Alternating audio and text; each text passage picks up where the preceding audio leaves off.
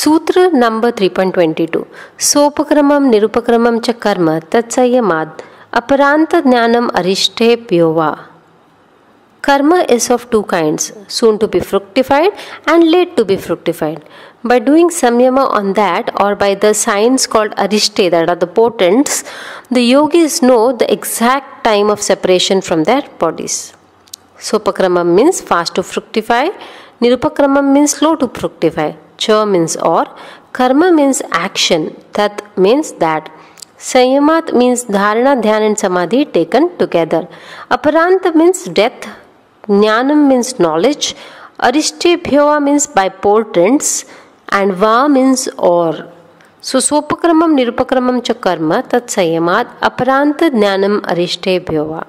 The practical application of the sutra is by focusing on the fruits of action, we know the death time. One must understand that we have limited span of life.